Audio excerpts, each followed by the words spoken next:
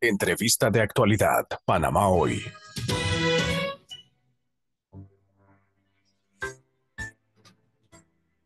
Siete y quince de la mañana continuamos con más entrevistas sobre el tema del día, la Caja de Seguro Social.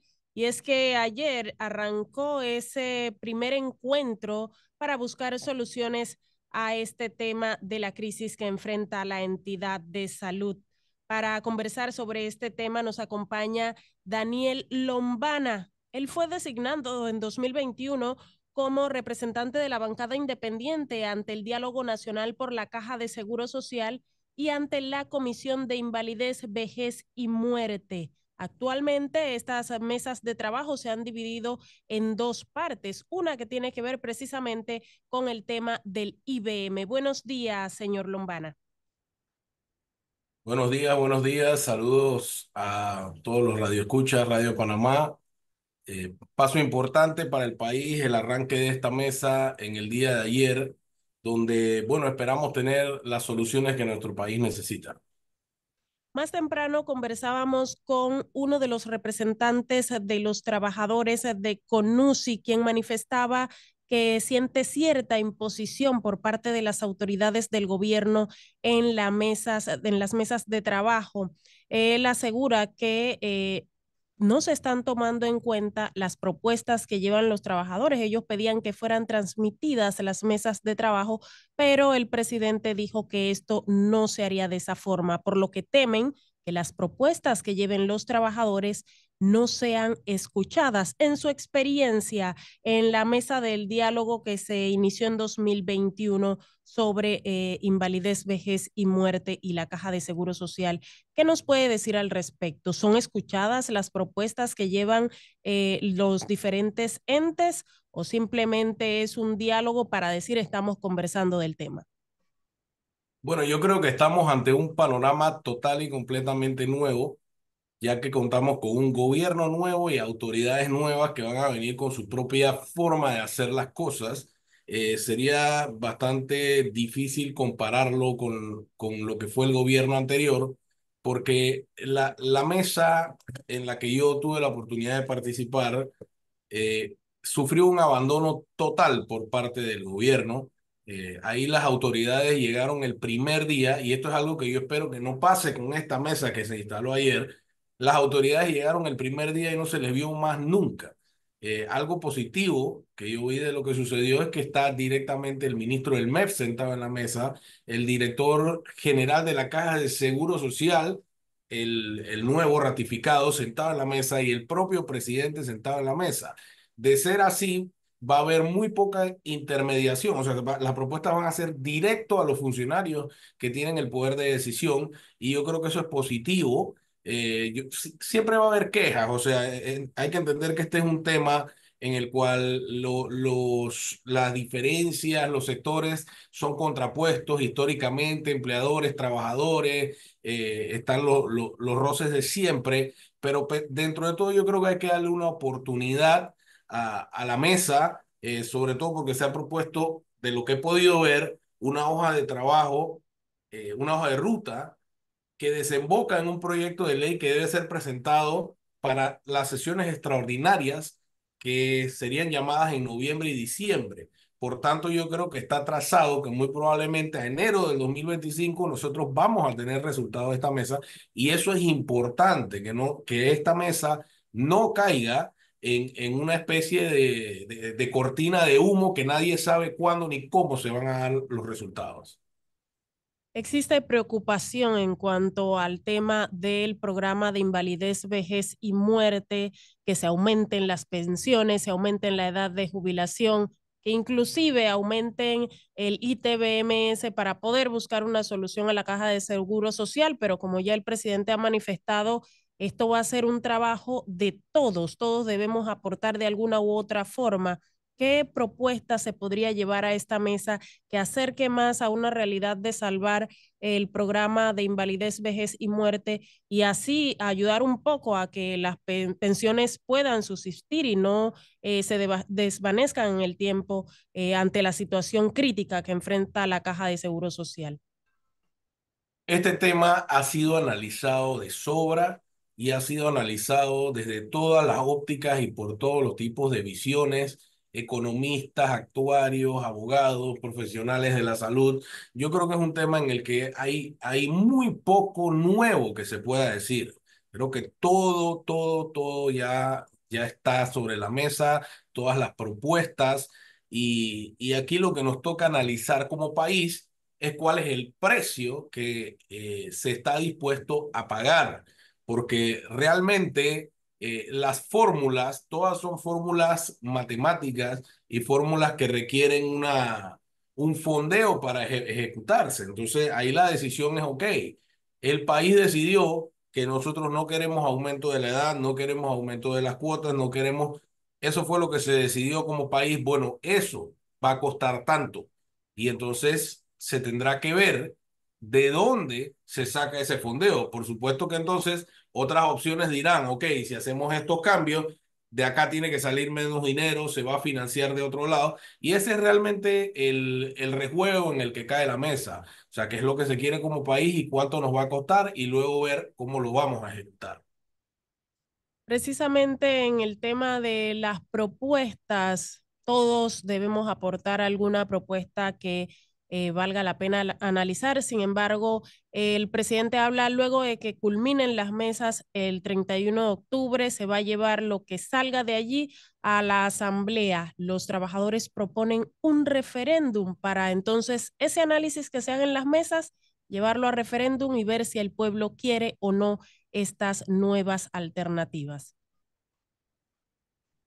Yo creo que eh, hay hay que observar el procedimiento legislativo eh, y es positivo que esto vaya de una vez a la Asamblea Nacional. Recordemos que la Asamblea Nacional también tiene la posibilidad de realizar consultas aún más amplias sobre este proyecto de ley.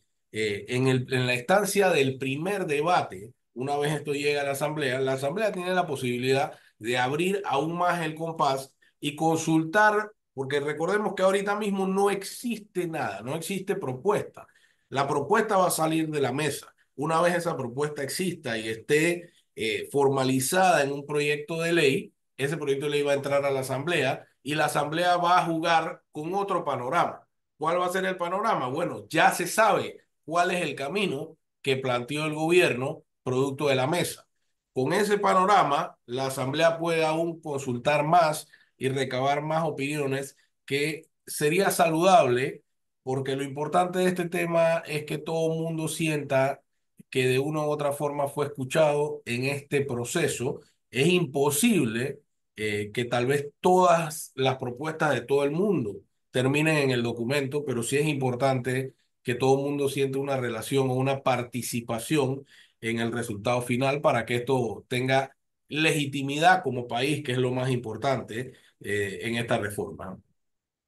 Como usted bien lo menciona, ya hay poco que analizar, ya se han recibido informes eh, tanto de la misma Caja de Seguro Social, la Organización Internacional del Trabajo también hizo eh, su informe referente a la situación de los activos y caída de ingresos de las contribuciones de la Caja de Seguro Social, pero ¿qué podemos hacer en realidad para poder rescatar un poco la caja de seguro social y evitar eh, un déficit más agudo en el programa IBM? Bueno, lo, lo más importante, y, y lo he mencionado yo en reiteradísimas ocasiones, es que la institución tiene que ser total y absolutamente despolitizada. Es una institución que toma decisiones muy importantes y sobre todo decisiones muy técnicas, decisiones financieras, decisiones en materia de salud. Eh, ambas inciden en, en la salud de, de, la población panameña, una en la salud directa y otra en la salud financiera y hasta mental, porque, o sea, cuando tú conversas con jubilados, a veces esa zozobra de no saber qué va a pasar con su pensión porque está este discursito de que no va a haber más pensiones, no va a haber más pensiones, y, y, y, y eso genera zozobra en las personas que, que no saben qué va a ser de, de, su futuro, si se van a jubilar o si estando jubilados no saben qué va a pasar con su pensión. Yo creo que todas esas cosas son en realidad el, el foco en el que la caja se tiene que centrar y una institución que responda a intereses políticos o de cualesquiera grupos, en realidad no, es, no ha estado caminando por la senda correcta y ese, eso es algo que yo espero que el, el nuevo director se tome muy, muy, muy en serio porque hay que sanear la caja, eso es lo primero. Después que la caja sanee su administración, sanee su junta directiva, eh, las cosas van a comenzar a caminar mejor independientemente de lo que venga en la reforma. Hay crisis en la caja de seguro social, afirman que no hay dinero, pero hay deudas. Hay empresas morosas, inclusive instituciones del Estado morosas en cuanto al pago de la cuota obrero patronal. ¿Qué se puede hacer para eh, cobrar ese dinero, para poder tener esos fondos que de una u otra forma podrían ayudar a solventar un poco la crítica situación que actualmente enfrenta la caja de seguro social? Eso es una irresponsabilidad total, total de eh, los empleadores que le, toca pagar esa cuota y, ojo, no son todos, son esos que están ahí en la lista de morosos, eh, porque recordemos que la cuota se descuenta, se descuenta de los pagos, o sea que ellos quedan con ese dinero y por alguna razón en el camino ese dinero no, no es pagado a la caja de seguro social. Eh, esto es delito en el caso de los empleadores privados y hay una propuesta de ley en la Asamblea para que también sea delito en el sector público. Eh, yo creo que esto es muy importante eh, y que se ejecute con todo el peso de la ley, porque hay una deuda importante que la Caja de Seguro Social ahorita mismo está en una situación que necesita todos los recursos que le puedan entrar y, y no hay recurso pequeño. Si bien es cierto, eh, la deuda que existe eh, no da para cubrir todo lo que necesita el programa de pensiones. O sea, recordemos, estamos hablando de miles de millones que se necesitan para financiar ese programa, pero aún así no es, no es un monto despreciable. O sea, es un monto que, que sí sería importante que la, la caja de seguro social logre cobrar y que sobre todo se ejecute eh, con todo el, el, los recursos y el peso que da la ley en contra de estas eh, personas que mantienen una mora eh, por su irresponsabilidad con el seguro social. Otro tema importante de la caja de seguro social es el tema de los medicamentos e insumos, las pre prestaciones de salud que también serán debatidas en una mesa Aparte, ya el presidente ha anunciado que se buscará la forma de hacer las compras conjuntas con el Ministerio de Salud, que sea una sola compra que se realice para así tener accesibilidad a mejores precios y a medicamentos de forma más rápida. ¿Cree usted que esta compra conjunta ayudará precisamente a esto, a minimizar el no hay en las farmacias de la caja de seguro social y si también se obtendrán mejores precios, ya que eh, muchos critican, sí, en Colombia conseguimos medicamentos más baratos, en Panamá están más caros, ¿por qué no se compran directamente eh, al fabricante? Siempre tiene que haber un intermediario. ¿Qué se podría hacer para mejorar en este tema? Bueno, una de las primeras cosas que hay que hacer es revisar los procedimientos. Eh, recordemos que estos procedimientos también están sujetos a toda una serie de, de posibilidades legales, eh, recursos, y es una de las quejas que muchas veces dan los funcionarios. Eh, me ponen un recurso y esto termina metido en un tribunal y, hasta que no, no se decida quedo yo de manos atadas en la compra.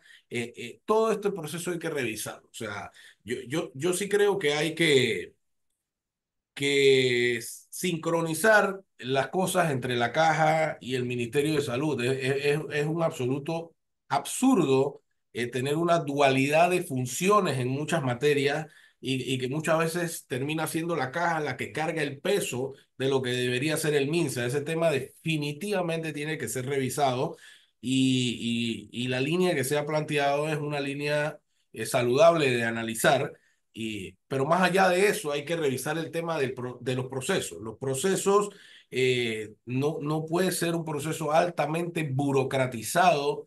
Eh, tenemos que tener, eh, analizarlo desde la perspectiva legal. Hay, hay maneras de, de, diseñar un proceso jurídico en el cual la compra se haga y si hay que imponer alguna sanción porque en el procedimiento la institución no hizo algo bien, esta sanción sea impuesta después que, que el medicamento sea suplido. O sea, que, que lo que sea que pase no tranque el proceso legal. Eso es algo que hay que, hay que analizarlo porque estamos hablando de la salud y la vida de los panameños y, y esto no puede estar sujeto a, a este tipo de burocracia que, que atrasa y empeora todo el sistema. Conclusiones finales, licenciado Lombana, sobre este importante tema, rescate de la caja de seguro social, prestaciones de salud e IBM. ¿Cuáles serían esas eh, recomendaciones y conclusiones para las personas que se van a sentar en estas mesas de trabajo? Bueno, yo siempre he sido un gran abogado de los hechos. Eh, yo creo que en este tema mandan los hechos y mandan los datos. Eh, realmente yo sé que esto es como una lista de Navidad en la que mucha gente quiere cosas, pero hay que ver si esas cosas están dentro de las posibilidades. Es como el papá que, que el niño le pide mil regalos y bueno, tiene que analizar cuáles son los que se pueden comprar. Eh, que todo lo que se vaya a decidir esté basado sobre los, los hechos y la data comprobada, ¿ves? Porque no, no hacemos nada poniéndonos con, posiciones tal vez ideológicas o filosóficas que a la hora de trasladar eso a los números no hay manera de cuadrarlo. Entonces yo creo que eso sería lo más importante, que esta sea una mesa de data, de ciencia, de matemáticas y que, y que lleguemos a una conclusión saludable para las finanzas públicas. Agradecemos muchísimo al licenciado Daniel Lombana por esto, este análisis referente al inicio de las mesas de trabajo de la Caja de Seguro Social. Estaremos pendientes a todo lo que ocurra para posteriormente analizar nuevamente estas reuniones que iniciarán este miércoles. Son las 7:31 minutos. Vamos a una breve pausa y al volver, más noticias.